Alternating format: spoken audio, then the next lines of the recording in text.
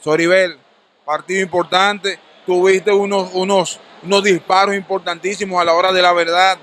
Cuéntanos tus emociones, la presión de jugar aquí en el Mauricio Báez en un partido de vida o muerte. Bueno, lo primero es que mi cancha, yo nunca he tenido miedo, yo siempre doy todo por el todo. Eh, algo que nos ayudó mucho, que cada una de nosotras pusimos un poquito, un granito cada una.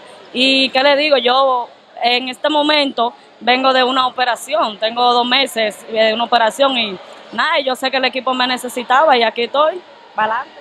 Soribel, el que ve el box score y no ve que tú no, tú no fuiste la dire en punto, dice, bueno, jugó mal, pero el que vio el juego, vio la defensa que tú tuviste y los disparos que tú anotaste, sabe que tú jugaste muy bien. ¿Y ¿Cómo te preparaste para este partido? Incluso un partido crucial, debido muerte para ustedes, para no salir descalificados. Bueno, yo, le, yo lo que hice fue no tenía muchos minutos de juego en el torneo entero. Lo que hacía era venir temprano a tirar, a correr y eso, me estaba preparando, porque yo sabía que mi equipo me necesitaba y no soy una mala jugadora. Y nada, gracias a Dios, aquí estamos para la batalla. Soribel, tu preparación mental para, para este próximo partido es el viernes en Atomayor, como lo dijo Génesis, es un ambiente difícil para ustedes. Es difícil, pero nosotras vamos enfocadas, si Dios quiere, y vamos con todo.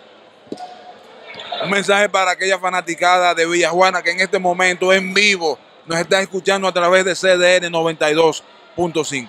Bueno, a la gente, las personas que nos están viendo, por favor, apoyen al baloncesto femenino, que hay mucho talento, se lo pedimos, que siempre nos dejan sola, nada más los varones, vamos, por favor, apóyennos.